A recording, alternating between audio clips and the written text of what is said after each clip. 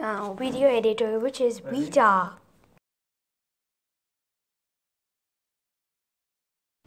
First of all, we have to open new project. I'll choose one of the videos present in my gallery. Let it load.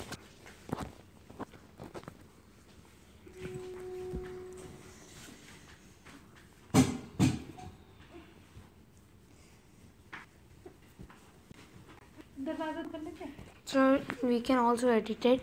We have got so many. We have got speed also. You can minimize it by 0 to 5 in X, which is fast motion, and more for uh, slow motion. We have got reverse, playing backwards. Let it play backwards. We can also let it play backwards.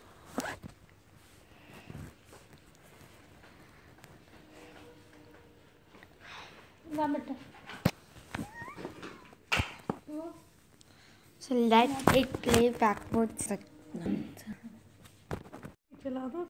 So it is still downloading. Just a little bit is left. Finished. It's playing backwards. Backwards. We can also add animation. We can play. We can. We can put it like that. I can also aim it out. You, I can. I can also delete it. You can also rotate it, but you will have to zoom in. You have to use the scale. It will zoom zoom. I'll just cro- cross. I don't need it. It's okay. I can also change the volume. And let's okay. Wait. Maximum ratio. Ratio is when I like I am adding your brightness your bluntness. I can also add text. I can also add text, but yeah. You can also add a sticker, but first of all, let's take it as I am going to add the GIF. Ready, steady. Start, start, start. I'll add one more. One, two, three. Okay, I like this one. So it's still loading. Once again, loading.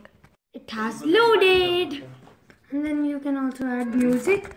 Uh, we I'll just take the vlog and pop. I'll, I'll use and I will use it for the whole of the video or a little bit part.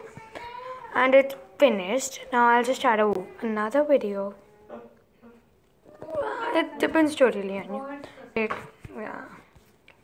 Now we need it filter. Filter is oranges uh, depending on that. I don't want to like you can also change the speed.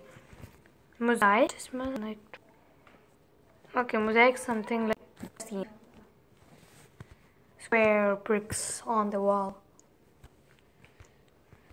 So there are many rotations.